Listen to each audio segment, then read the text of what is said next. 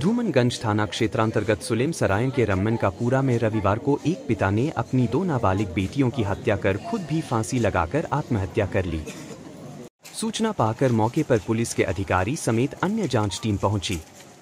DCP दीपक भूकर ने बताया कि रमन का पूरा में किराए के मकान में रहने वाला लल्ला उर्फ़ मनीष पेंटिंग का काम करके अपने परिवार का भरण पोषण करता था।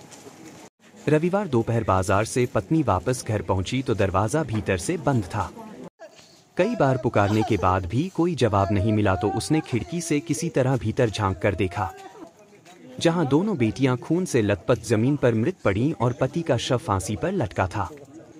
यह देखकर उसके पैरों तले ज़मीन खिसक गई। उसने पड़ोसियों को जानकारी देते हुए पुलिस को सूचित किया। सूचना पाकर पुलिस अधिकारी और कर्मचारी मौके पर पहुँच गए। फ़ील्ड यूनिट व डॉग स्क्वाड के साथ पुलिस ने मौका मुआयना किया। कमरे से कोई भी सुइसाइड नोट नहीं मिला है। इस घटना को लेकर पत्नी भी कुछ बता नहीं पा रही है। फ़िलहाल पुलिस मामले की जाँच कर रही है। आज दूमनगंज एरिया में दोपहर में हमारा 112 गाड़ी का ऐसे जानकारी मिला।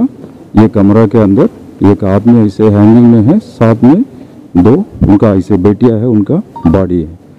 ऐसे पीआरवी आकर के देखा, ये पीआरवी आने के बाद ही फ़ील्ड यूनिट के साथ ही कमरा ओपन हुआ, अंदर से बंद था, ताला बंद था।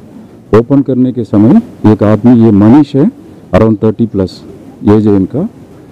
ऐसे ही हैंगिंग पोजीशन में है साइड में नीचे, दो इनका बेटिया है, ऐसे पाँच साल, तीन साल उम्र का है। वो दोनों का ऐसे ऐसे देखने में चाकू से मारा है, पेट में दोनों का। दोनों का ऐसे ये देख रहा है कि अभी कारण क्लियर नहीं है। यही दोनों बेटिया का हत्या करके खुद ही सुसाइड कर दिया है। ये पहली पहली एक का पाँच है दूसरा का लगभग पाँच एंड तीन है। तो ये मनीष क्या करते थे और घर में ये पेंटिंग पेंटिंग का काम करता था।